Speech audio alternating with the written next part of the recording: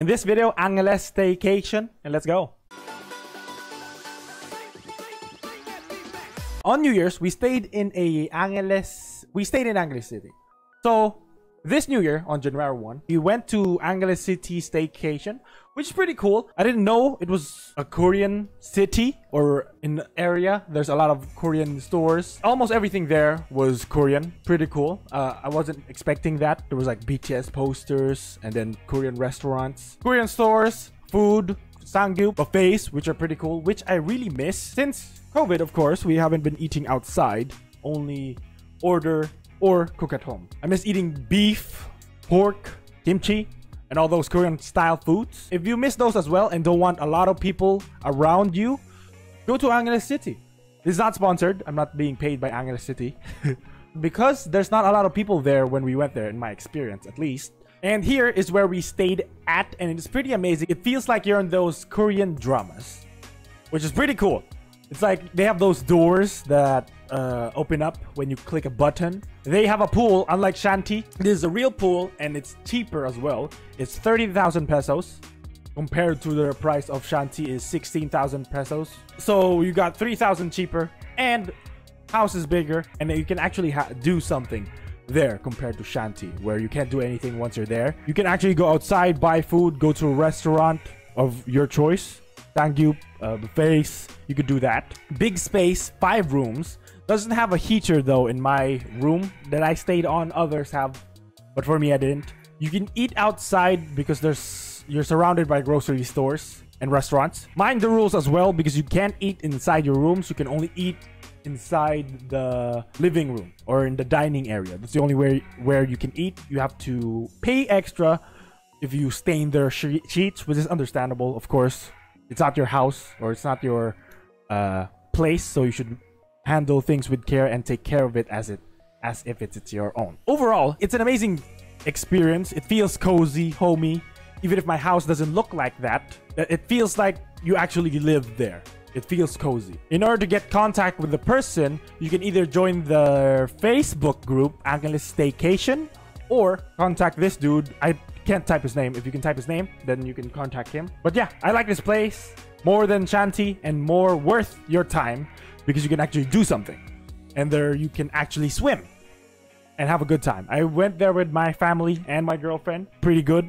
Uh, swam a little. I'm too tall for the pool, of course. Uh, that is Angeles Staycation Review. The place doesn't have a business name, and there's people who live under the house. Not under the house, but on the kitchen area. There's a room there where the maids are, where they will clean up after you. When you're done, you do have to pay extra if you actually order them around to clean up.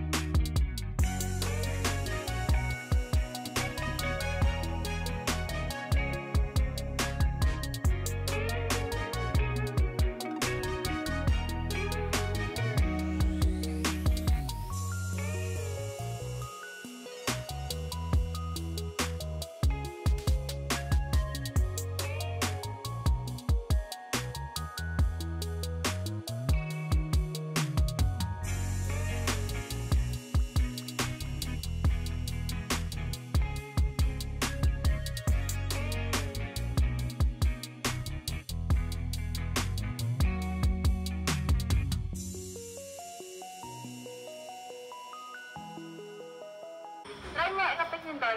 오케이. 고. 와.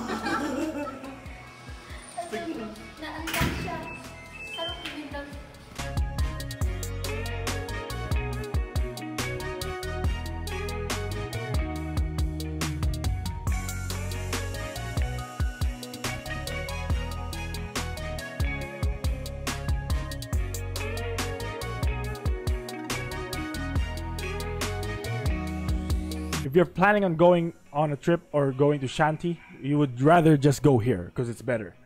And yeah, thank you for watching. Like and subscribe. Comment down what you think. Subscribe for more of me. and yeah, thank you for watching. And that's all for me. See you in the next one. Hope you guys like the video, leave a like and subscribe. And click that bell button so you get notified when I post another video.